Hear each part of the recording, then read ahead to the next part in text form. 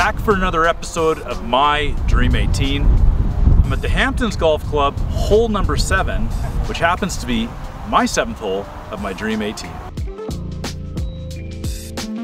I don't know what's up with myself and all these elevated tee shots, but I guess they just look really good. And this hole is a great example of that. Not the longest par five, but it's demanding. And the risk reward components of this hole are really good. Hit two really good shots, you're almost guaranteeing yourself a birdie on this hole, but hit something a little bit wayward and really easy to make a bogey worse.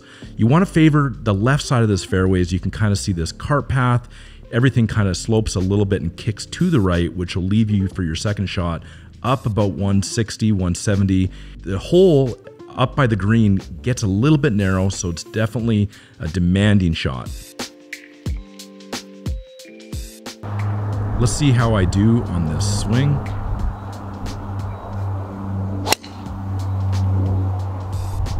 Hit this drive okay, a little bit farther left than I would like. Ended up in the left rough, but it's definitely the place you want to miss it from this hole. This ball comes out a little bit hot, not the best swing ever. Left myself short of the green, so I had a little bit of a tough up and down because this green is really quite elevated. This is my third shot to the back bunker now because I hit it a little bit too far. Now, as I was telling you before, the great risk reward component to this hole, I've left myself like 10 feet here for a par.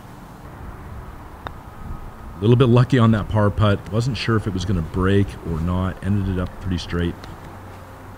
That's hole number seven on my Dream 18 here at the Hamptons Golf Course. Also hole number seven. I made a par.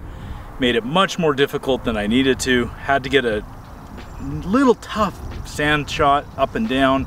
But on to hole number eight. Stay tuned for our next episode of this Dream 18 series.